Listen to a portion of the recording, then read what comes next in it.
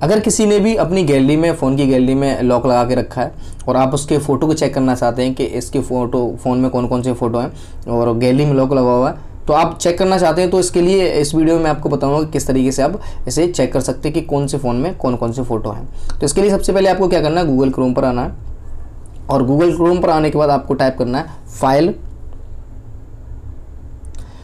उसके बाद semi colon जैसा कि देख सकते हैं आप, ये दो बिंदी जो होती हैं ऊपर नीचे, इन्हें सेमी कॉलन बोलते हैं। तो सेमी कॉलन उसके बाद ट्रिपल स्लैश, ठीक है? ट्रिपल स्लैश टाइप करने के बाद यहाँ से एस डी कार्ड डाल देंगे।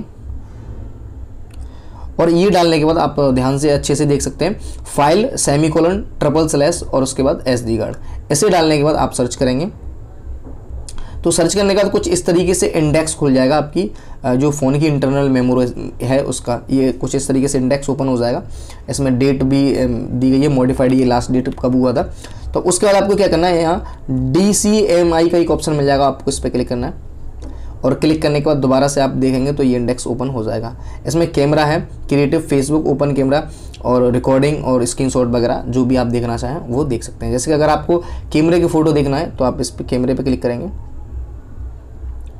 और कैमरे पे क्लिक करने के बाद उसके फ़ोन में जितने भी कैमरे से क्लिक किए हुए फ़ोटो होंगे, वो सारे के सारे यहाँ पे आ जाएँगे, ठीक है? इतने फ़ोटो इस फ़ोन में कैमरे से क्लिक किए हुए हैं, आप देख सकते हैं। अब आप जिस भी फ़ोटो को देखना चाहते हैं, उस पर क्लिक कर सकते हैं और उसकी आपको यहाँ पर डेट मिल जाएगी कि ये कब फ़ोटो क्लिक किया हुआ है, इसका साइज़ मिल जाएगा आपको कि कितने एमबी का ये फ़ोटो है, ठीक है? अब जैसे मुझे ये फ़ोटो देखना है तो मैं इस पर क्लिक कर दूँगा और आप देख सकते हैं, ये वीडियो है तो ये वीडियो भी आ गई इसमें। ये मेरे फ़ोन से क्लिक की हुई वीडियो है।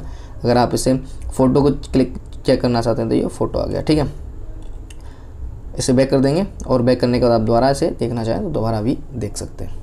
ठीक है, अब आप देख सकते हैं जेपीजी फॉर्मेट मिल जाएगा। यहाँ पे एम पी फोर लिखा हुआ है तो एक वीडियो है एम पी फोर लिखा हुआ है तो ये भी वीडियो है। और जितने भी एम पी फोर लिखा हुआ होगा, वो वीडियो होंगे, बाकी जेपीजी फॉर्मेट में ये आपके फ़ोटो हैं। जिस फ़ोटो क्लिक करेंगे आप, उस फ़ोटो को देख सकते हैं कौन सा फ़ोटो है, ठीक है?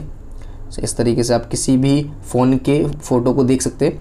और उम्मीद करता हूँ कि आपको ये वीडियो पसंद आई हुई। अगर वीडियो पसंद आई हो तो वीडियो को लाइक करें, शेयर करें। और आपको अगर आज कुछ अच्छा सीखने को मिला हो तो चैनल को भी सब्सक्राइब कर सकते हैं। और साथ साथ बेल नोटिफिकेशन को भी प्रेस कर दें ताकि अगली आने वाली वीडियो का नोटिफिकेशन आपको सबसे पहले मिल जाए। तब तक के लिए टेक केयर। मिलते हैं अगली वीडियो में किसी नए टॉपिक के साथ।